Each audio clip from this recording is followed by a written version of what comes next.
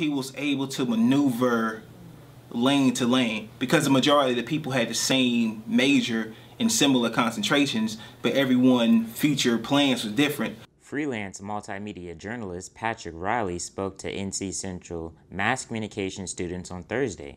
He came to share media industry advice, but was quite surprised by students' high hopes for a promising career.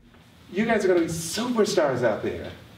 And you already have the awareness of what's going on in the industry. You, you know, I hear these people talking crisis management, PR, social media. I mean, like you're, you're, you, you know what's there. From 1998 to 2012, Riley was the field producer for The Oprah Winfrey Show.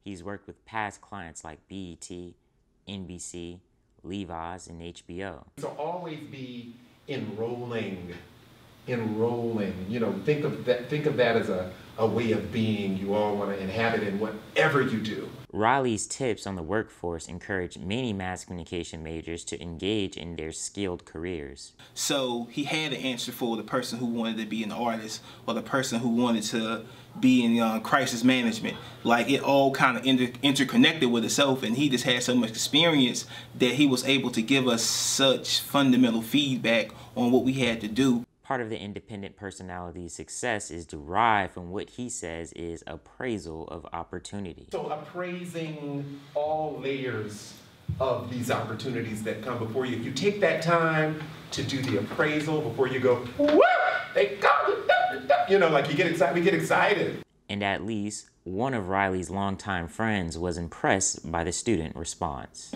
I felt like everyone had a general sense of who they were and what they wanted to do, even if they were a little unclear on how they were going to do it. I didn't hear one person say, I don't know what I'm going to do, I'm just here.